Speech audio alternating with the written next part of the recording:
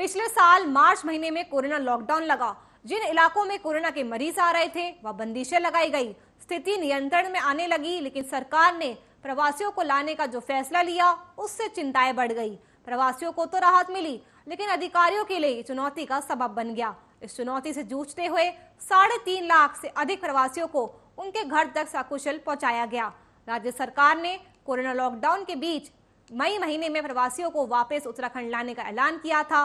एक ओर केंद्र सरकार ने विशेष ट्रेनों का संचालन शुरू कर दिया तो दूसरी ओर राज्य सरकार ने भी इस दिशा में अपनी बसें दूसरे राज्य को भेजनी शुरू कर दी। कोरोना लॉकडाउन की वजह से अपने काम धंधे ठप होने से परेशान प्रवासियों के लिए सरकार की ये घोषणा बड़ी राहत लेकर आई थी।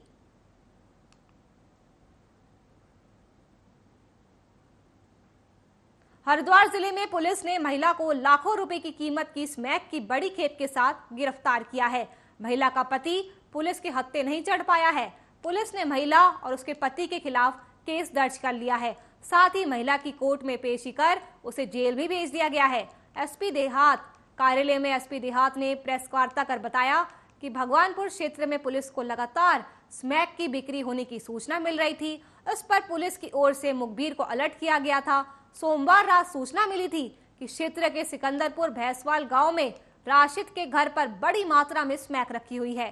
सूचना पर राशिद के घर पर दबिश दी गई और घर की तलाशी ली गई। इस बीच घर से एक दशमलव चार दो किलोग्राम स्मैक बरामद किया गया।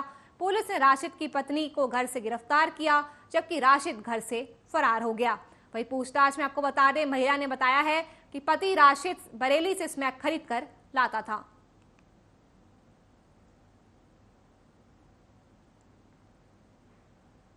उत्तराखंड हाईकोर्ट ने हल्द्वानी में रेलवे की ज़मीन पर अवैध तरीके से काबिज लोगों पर पीपी एक्ट सरकारी स्थान अपराधिकृत अधिभोगियों की बेदखली अधिनियम 1971 के तहत कार्रवाई करने के निर्देश दिए हैं।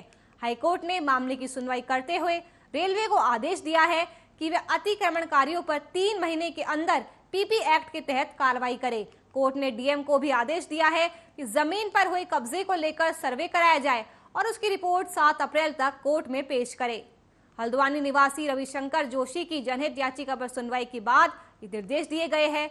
जोशी ने याचिका में कहा था कि गफूर बस्ती में रेलवे की भूमि पर चार अतिक्रमणकारियों ने कब्जा किया हुआ है। पूर्व में भी 2016 में हाईकोर्ट ने उक्त अतिक्रमण को हटाने के आदेश दिए थे।